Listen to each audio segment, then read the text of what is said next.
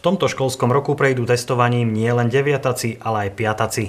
Najmladší žiaci druhého stupňa si po prvýkrát otestujú svoje vedomosti.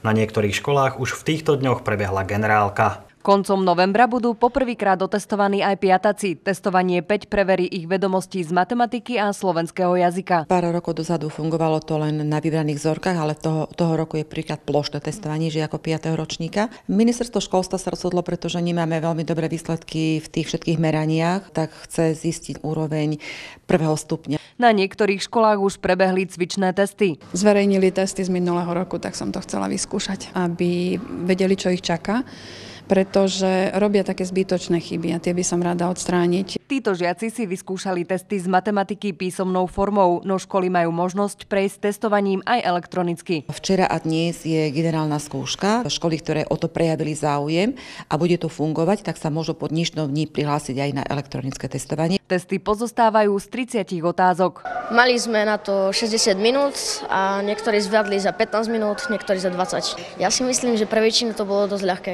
Toto testovanie vlastne má, nemá vplyv na žiadne príjmacie skúšky ani na nič iné. Je to len overenie si úrovne vzdelávania žiakov po ukončení prvého cyklu vzdelávania. A rovnako aj učitelia zistia, ako piataci zvládli doterajšie učivo z matematiky a slovenského jazyka. Zistíme vlastne úroveň, čo všetko už vedia. Aj keď nie som celkom presvedčená o tom, že nám dá objektívne výsledky, čo potrebujeme dobrať, čo treba, na čo sa treba viacej zamerať a tak ďalej. Ako školáci zvládli prvý stupenci na ostro otestujú 25. novembra.